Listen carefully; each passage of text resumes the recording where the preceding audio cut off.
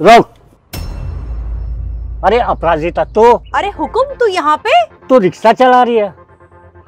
वाह रिक्शे वाली अपराजिता क्या करूँ? उनके जाने के बाद तो मुझे ही सारा घर संभालना था ना। सारी जिम्मेदारियाँ मेरे कंधे पे आ गई थी। इसीलिए बस मैंने रिक्शा डाला और मैं चलाने लग गई। मेरा बेटा भी ना नौकरी की तलाश में है। जिस दिन मेरे बेटे को नौकरी मिल जाएगी ना उस दिन तो हमारी काया ही पलट जाएगी। कोई फ़ायदा नहीं है। ये ख्याली पुलाव बनाने का। तू क्या समझ रही है? तेरे बेटे को नौकरी मिल जाएगी। अगर ऐसा होता तो हर इंसान अमीर होता। तेरे बेटे को नौकरी मालूम है कौन सी मिलेगी? लेबर क्लास की। लेबर बनेगा लेबर। अरे हुकुम तू ये सब क्या बोल रहा है? तुझे ऐसे नहीं बोलना चाहिए। मैं तो बोलूँगा। बोल क्या कर लेगी तू? तेरा रिक्शा है ना? अभी बंद करवा दूँगा। माँ माँ मैंने खाना बना दिया है। चलो साथ में बैठ के खाना खाएँगे घर पे। अच्छा तो ये तेरा बेटा है?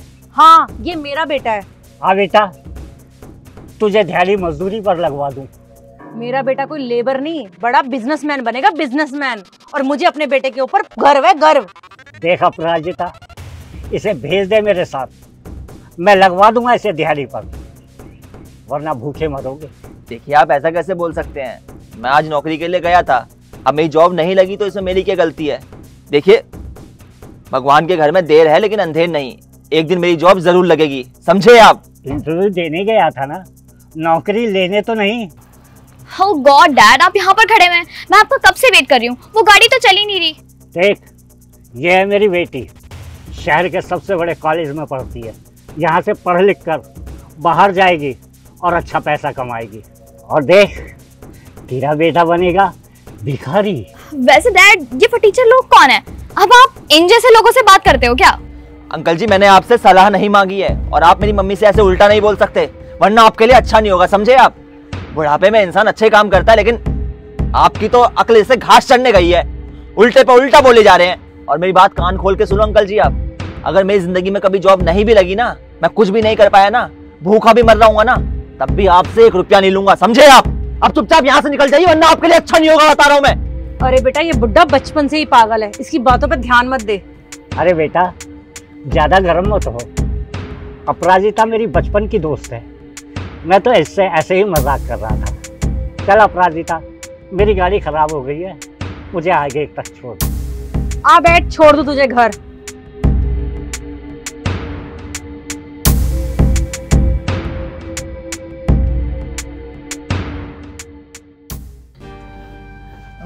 ये लो माँ खाना खाओ। अरे वाह मेरे बेटे ने खाना बनाया तो इतना बड़ा हो गया माँ चक्कर तो बताओ कैसा है? अरे बेटा तूने बनाया तो खाना बढ़िया ही होगा ना। ये क्या बात हुई माँ आपने चखा भी नहीं और बोल रहे हो बढ़िया बनाया आप पहले चखो बस इसे। अच्छा ठीक है रुक।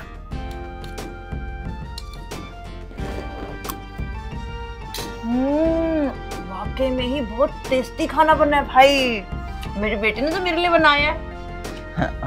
माँ क्या है ना? वैसे देखा नहीं जाता आपका दुख। आप दिन भर काम करती हैं, खाना बनाती हैं तो मैं सोचता हूँ कि छोटे मोटे काम में आपकी हेल्प ही कर दूँ। देखना माँ, जब मेरी जॉब लग जाएगी ना तो मैं आपके सब दुख मिटा दूँगा। आपको एक काम नहीं करने दूँगा। अच्छा माँ, वो बताओ ना, उस वह बुढ़ा कौन था जो आपसे उल्टा सीधा बोल रहा था? अरे बेटे, उस बुढ़े को भूल जा, छोड़ उसे। वो मेरे बचपन का दोस्त है, और पैसे होने के कारण बहुत घमंडी भी है। हमें क्या लेना देना उससे? छोड़। माँ वो बहुत ज़्यादा बदतमीज है मेरे को बहुत ज़्यादा गुस्सा आता है उस पर उसकी बेटी पे। तमीज ही नहीं है बोलने की उन्हें तो। कोई बात नहीं बेटा जैसे वो है वैसे हम थोड़ा ना बनेंगे। माँ वो बात तो सही है लेकिन उसे तमीज होना चाहिए ना बोलने का। ये तो तू तो सही कह रहा है बेटा पर वो घमंडी है पैसों का घमंड है उसको है ना? छोड़ छोड़ खत्म कर तू अपना खाना खा। इतना प्यार से तू मेरे लिए खाना बना कर लाया टेस्टी टेस्टी पहले मैं वो खाऊँगी। ठीक है माँ।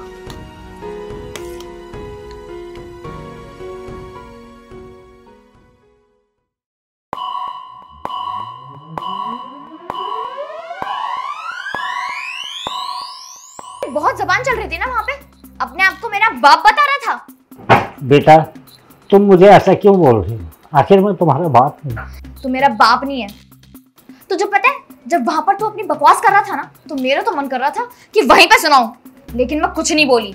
सिर्फ़ और सिर्फ़ इसीलिए क्योंकि अगर मैं तुझे कुछ कहती ना तो मेरी ही इमेज खराब होती उन लोगों के सामने। इसीलिए मैंने कुछ नहीं कहा। चुपचाप रही मैं।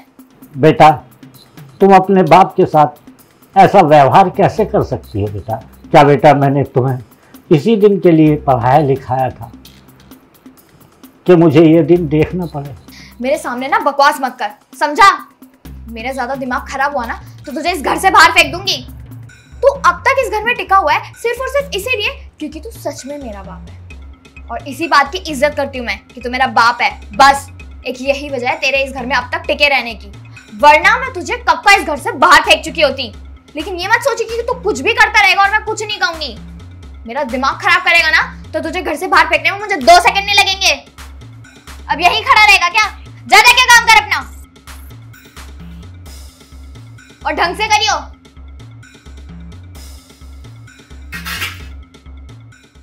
शेखर बेटा ओ शेखर बेटा। जी माँ आया। हाँ जी माँ बोलो क्या काम है? शेखर बेटा आज ना हुगों के यहाँ से डिनर का वो आया है कि हाँ, आज डिनर करने के लिए आओ। तो मैं ये कहती जल्दी से रेडी हो जाओ उसके घर खाना खाने चलते हैं। माँ मैं नहीं जाने वाला उसके घर। बहुत ही ज़्यादा बदतमीज है वो लोग। अरे बेटा ये बदतमीज बदतमीज कुछ नहीं होता। चल मेरे साथ खाना खाएँगे अच्छे से वहाँ पे। माँ उल्टा सीधा बोलता रहता है फिर उल्टा सीधा बोले मैं वो गुस्सा आएगा तो फिर मेरे से बर्दाश्त नहीं होता उसका। बेटा एक बात बता जैसे वो करेगा वैसे ही हम करें क्या? वो तो बदतमीज है निकचड़ा है बहुत घमंडी भी है। पर एक बात बताऊँ उस उसे पैसों का घमंड है। थोड़ी बहुत बेइज्जती कर देता है और कुछ नहीं है। देख बेटा तू तो टेंशन मत ले और बड़े बुड्ढों को मना नहीं करा करते। वो तो ऐसे कर ही देते हैं।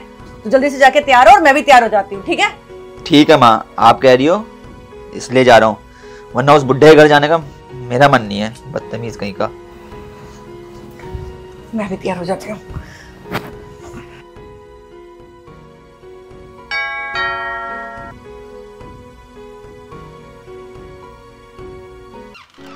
आओ माँ अरे आओ आओ अपराजिता। अरे देखा अपराजिता मैंने कहा था ना तेरा बेटा कुछ कर नहीं सकता। यहाँ भी चप्पलों में आ गया। चलो आओ फ्री का खाना बैठ कर खाओ। माँ मैंने आपसे कहा था ना कि ये बहुत ज़्यादा बदतमीज है। मेरा मन ही नहीं था यहाँ आने का। मैं जा रहा हूँ। अरे बेटा मेरी मज़ाक करने की आदत है तो मैं मज़ाक कर रहा था। आओ बैठ। खाना खाकर जाना। बेटा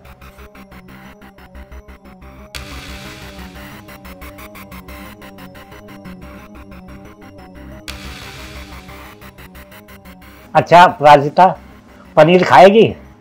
बहुत महँगा आता है। मेरा लैपटॉप कहाँ रखा है? बेटा वो बाहर रखा हुआ था। मैंने अलमारी में रख दिया। तुझे कितनी बार समझाया ना मैंने कि मेरी चीज़ों को हाथ मत लगाया कर। हज़ार बार बोल चुकी हूँ फिर भी समझ नहीं आता है। इस घर में ना उतना ही काम किया कर जिस काम के तू लायक है उससे ज़्यादा फालतू काम मत किया कर। ये क्या तरीका अपने से बड़ों से बात करने का? तुम्हारे पिताजी हैं वो और तुम उनसे ऐसे बात कर रही हो। अबे हो तुझे किसने बोला? कि तू हमारे फैमिली मैटर के बीच में बोले हाँ? और तुम लोगों को यहाँ किसने बुलाया? अच्छा तूने अब यहाँ पर ये प्लानिंग की है तो इन लोगों को बुलाकर अपनी बातों में फंसाएगा और एक टीम बनाएगा मेरे खिलाफ ताकि तू आगे चल के इन लोगों के साथ मिलकर मेरे खिलाफ एक साजिश कर सके। तमीज से बात कर। आखिर में तेरा बाप हूँ बाप है तो बाप की तरह रहना। जितना काम बोलते उतना काम किया कर। फालतू की चीज़ों को हाथ क्यों लगाता है? मेरा तो दिमाग खराब करके रखा हुआ है तूने। सही होता कि मैं तुझे पहले ही वृद्धाश्रम में फेंक के आ जाती। पता नहीं क्यों ही रखा हुआ मैंने तुझे घर में, पागल कहीं का। आज के बाद ना मेरी चीज़ों को हाथ मत लगा दो वरना तेरे लिए अच्छा नहीं होगा।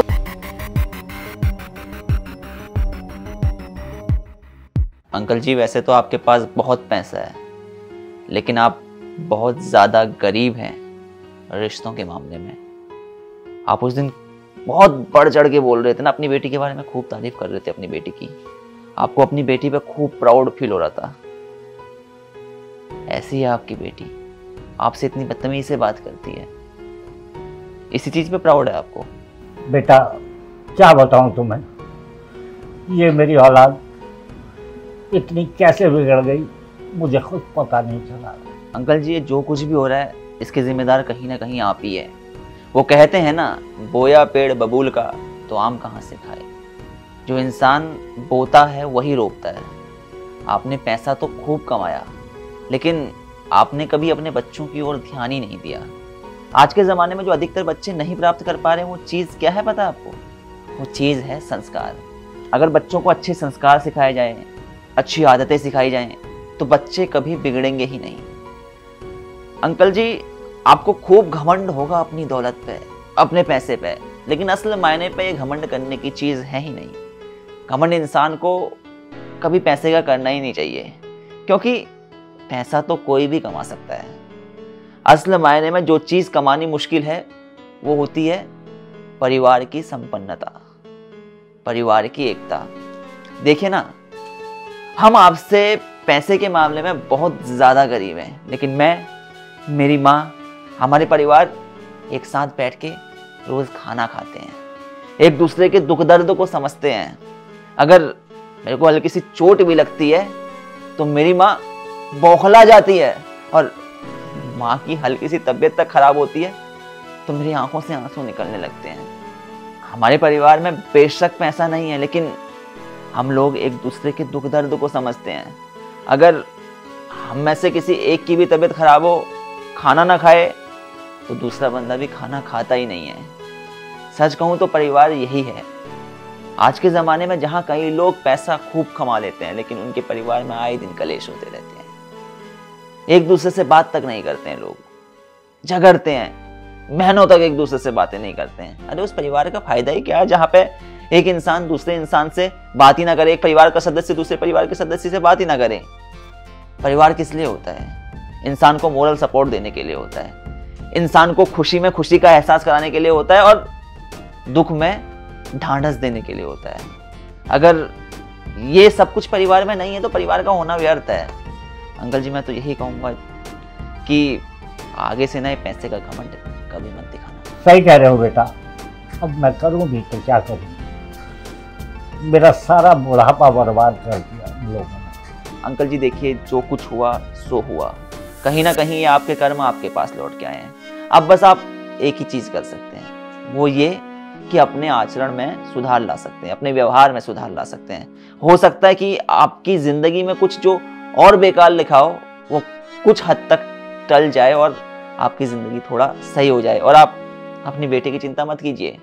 जैसे आपके कर्म आपके पास लौट के आए हैं, वैसे एक दिन उसे भी ठोकर खानी पड़ेगी, वो भी ठोकर खाएगी, पछताएगी और तब उसे एहसास होगा कि माँ बाप की असली कीमत क्या होती है। ठीक है बेटा। मैं समझ चुका हूँ। खैर छोड़ो। बैठो बेटा, तुम्हारे लिए खाने का बंदोबस्त जी, अंकल जी।